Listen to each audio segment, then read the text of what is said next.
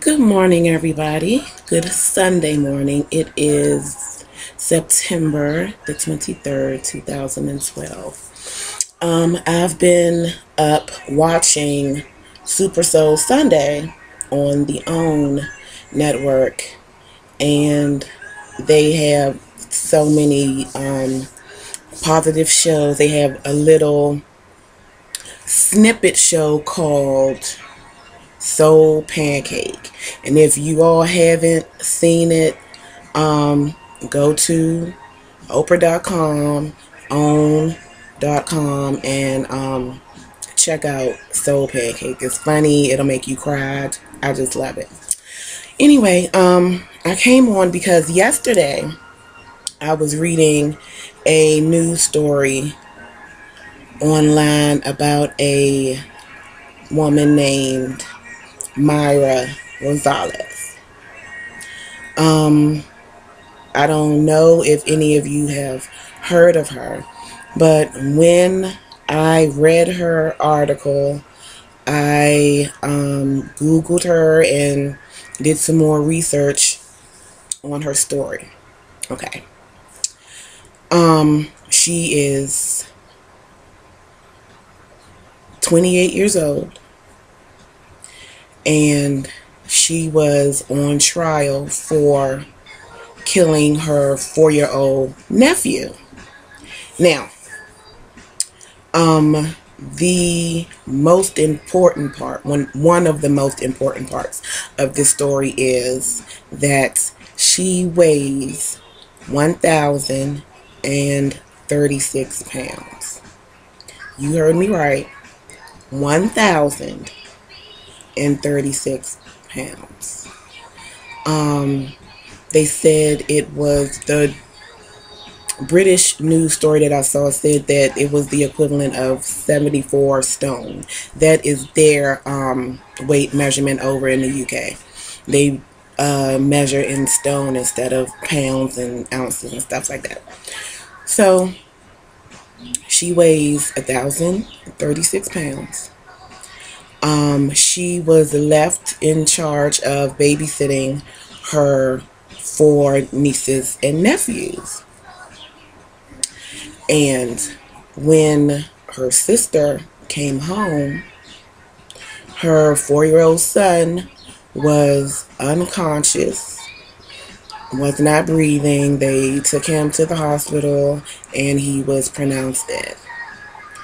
Mayra Rosales, because she was um, left in charge of the children, admitted that she crushed this child's head. She said that she was reaching for him, her hand slipped, and she fell on him and crushed him. They arrested her, charged her, and she was on trial. This happened in 2008. And she was just acquitted um, in January of this year. Um, from the story that I saw from the BBC News Channel, she adamantly, you know, kept confessing to injuring this child and um, saying that she was the one that killed him. They made a total media circus out of her. They had to cut her walls open. They had to do special measurements and, excuse me, make special accommodations for her to be in the courtroom. It was just, it was just sad. I mean, no one should have to go through that. So, her sister disappeared. Went off to Mexico. Oh, let me also say that this happened in Texas. Her sister and her husband and the rest of their children crossed the border over to Mexico and left this 1,000 pound woman here to take the blame and face whatever charges um, that were given to her in terms of injuring and killing this baby. Um, she got so tired of everything. I mean, she just went through a tremendous ordeal. It was just horrible. I wouldn't wish that on my worst enemy. And um, TLC will be airing a special on her um, next month, I think it is. I'll try to make sure to keep you all updated for anyone who's interested. Anyway, the sister disappears to Mexico with the husband. Come to find out, the sister is the one who killed her own child. He was refusing to eat, and so she took a brush and proceeded to beat this baby in his head because he would not eat. And so she wouldn't be the one facing any criminal charges. Her um, sister took the blame for her. Now, the reason why she finally admitted to not being the one, first and foremost, none of the physical evidence corroborated her story. Nothing that she said happened was um, proven with the you know physical evidence the dna you know the reenactments you know um, when you have a suspicious death they do a very very thorough autopsy they found um, fractures in his skull and everything and from what she was saying she just slipped and fell on the boy and basically smothered him to death. And the district attorney even was like, there's no way that you falling on him would have crushed his skull the way that it did.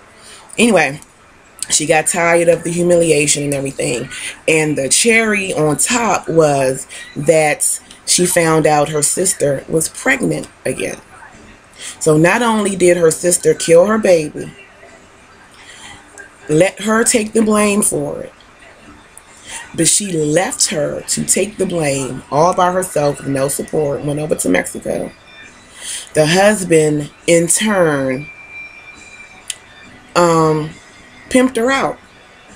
He had this woman in Mexico pimping her out.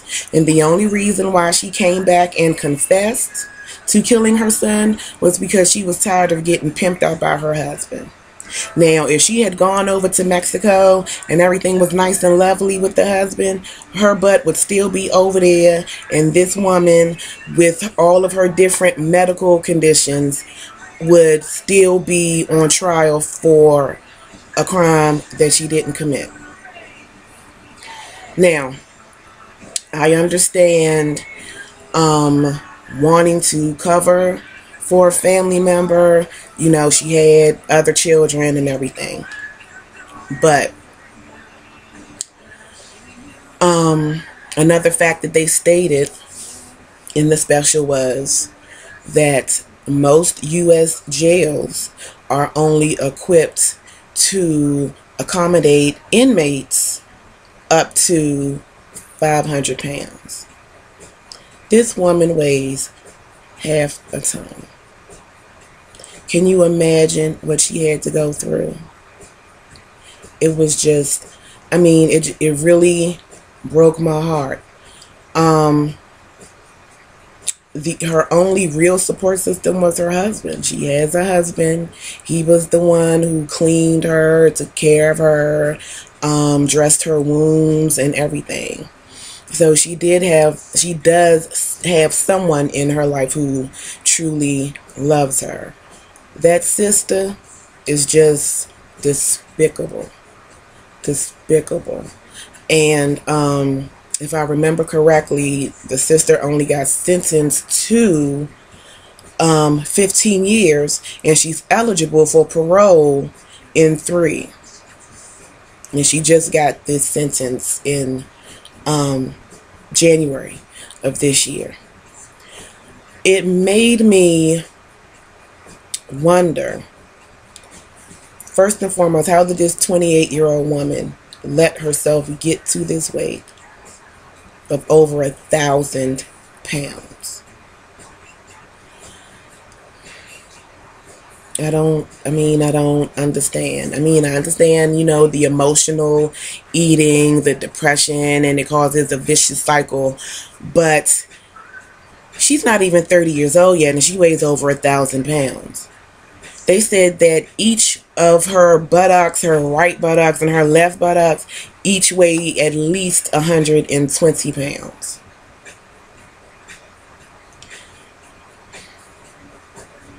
And all I could do was truly feel sorry for her because she is literally trapped in her own body.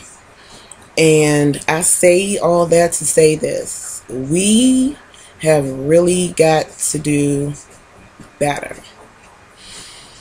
I know I got a lot of plus size girls that subscribe to me. I'm a plus size girl myself. I'm trying to get it together, you know, going to the water aerobics and everything. Trying to get it together.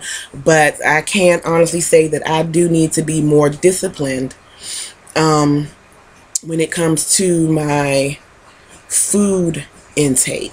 And not necessarily, um, what do I want to say? The quality, but the quantity. So I really need to get on the ball with that because a thousand and thirty-six pounds is not cute. It's not cute at all. And um, so, like I said, that's it. I just wanted to come and tell you all about the story. If you all um, would like to know more, you can Google her. Her name is Mayra Rosales. It's M A Y R A R O S A L E S. And like I said, she has a special coming up soon on um, TLC. So that is it for now. I will see you all later. I hope you all have a very good Sunday morning.